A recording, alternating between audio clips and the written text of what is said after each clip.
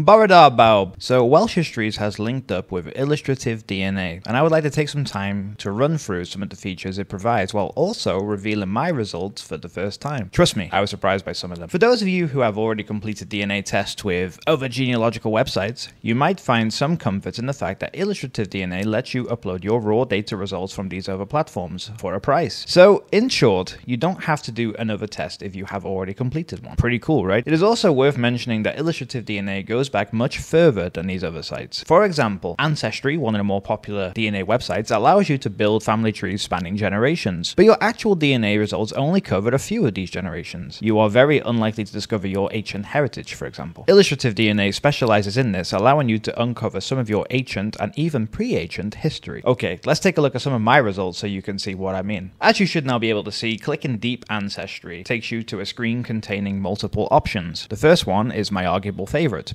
periodical breakdown. This allows you to see which genetic fits your results most align with. It is preset to the ethnicity you have entered for yourself, so Northwest Europe for me, but you can change this as I do to cover global, or you can keep it the same. It is entirely your choice. You can also switch between historical periods from Bronze Age to Iron Age to Late Antiquity and to Middle Ages, essentially the medieval period. Looking at my results for Bronze Age, I can see that I am split between European farmer, 45.4%, and Central Steppe, 38%, and most interestingly, Bronze Age Caucasian at 16.6%. I'll have to Google these later as I am less of an expert on this time period. So feel free to let me know what they mean if you do know already. If I go on to Iron Age, you can see that I am 39.8% Germanic, which makes sense given I am half English, 37.2% Insular Celt, which also makes sense given I am half Welsh and Irish, and 19.2% Continental Celt, 2.8% Italic and Etruscan, and Colchian, I don't know what that even is, at 1%. You can see how this makes sense given the connection between continental and insular Celts and perhaps some Italic Etruscan blood in Romano Britons was passed down. I have no idea about Colchian though. I don't even know if I'm pronouncing that right. So if you click on it, you can see what they are. So it says here the Colchis, and again, apologies, I'm probably pronouncing that wrong, existed from the 13th century to the 1st centuries BCE, and they are regarded as an early South Caucasian speaking polity. Okay, pretty cool. So if you are ever lacking information on any of your results, you can just click them and you can find out more. If you scroll down, you can also see some research links connected to the ethnicity. Also, keep an eye on the genetic fit section. Ideally, you want that number to be lower so that it is a higher likelihood of matching your own results, or matching you, I should say. See the difference when it switches from Iron Age to late antiquity. That's likely because the more recent the time period, the better the match, which again makes sense because going back so far is very difficult to do. Late antiquity again places me as mostly Germanic with 33.6%. However, this time I am more continental Celt than insular Celt, as I am more Gaulish with 25.6%, than Romano Briton with 24.6%. This is followed by the Pictish at 10.6 and Lazica,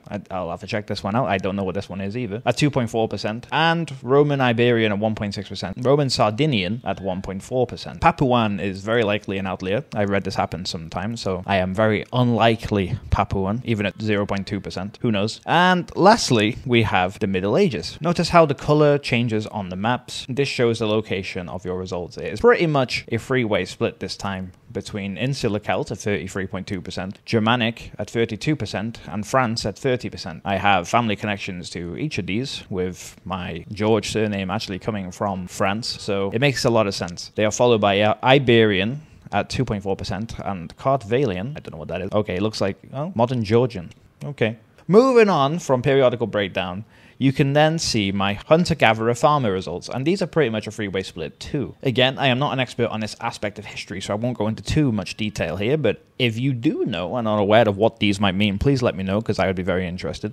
Then we have unsupervised analysis. So, unsupervised analysis displays the most suitable two and three ancient populations or samples that represent your genetic profile. There are 50 different combinations, and these are listed from best fitted to less. So, it's basically just comparing how two different ethnicities will fit you and which one has the higher percentage, I guess. Weirdly, my best fit is this combination, so that's kind of interesting. You can also change it from ancient to modern, and you can also change it from two way to three way. So, if I go to modern, I am far more likely white American Utah than Papuan. We move on to closest populations, and this is a particular favorite of mine because I like seeing which populations I'm closest to, especially the present day. It's, it's kind of interesting to see that. So, closest populations, as you can see on mine, my primary match on the ancient option is Iron Age Britain, which makes more sense than anything else, I guess. And then if I click onto the modern, Again, white American Utah. Very interesting considering I am not American and